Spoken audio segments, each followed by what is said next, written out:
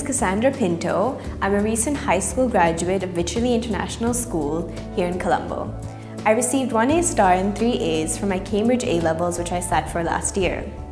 I applied to Australia due to its unparalleled level of education, as well as considering the fact that Australia provides a post-study work visa for its students to practice whatever they would like in their relevant field after completion of their degree.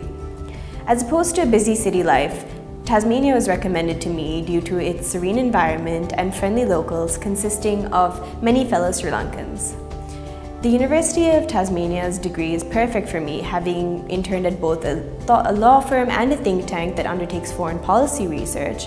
It allows me to major in both law and international relations, which will provide me with the necessary skills to return to Sri Lanka and practice law in the field of human rights, as well as consider a career in public diplomacy. I'm also a successful recipient of the Dean of Law's Merit Scholarship, which provides 100% registered tuition fees to be covered by the university for the duration of my course. This is a brilliant opportunity for any student because it eliminates the financial burden, which is something that a lot of university students struggle with.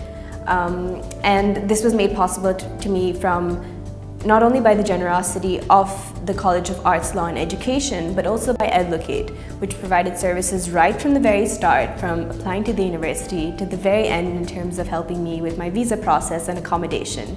So I would definitely recommend Edlocate to anyone who wishes to study for their tertiary education abroad.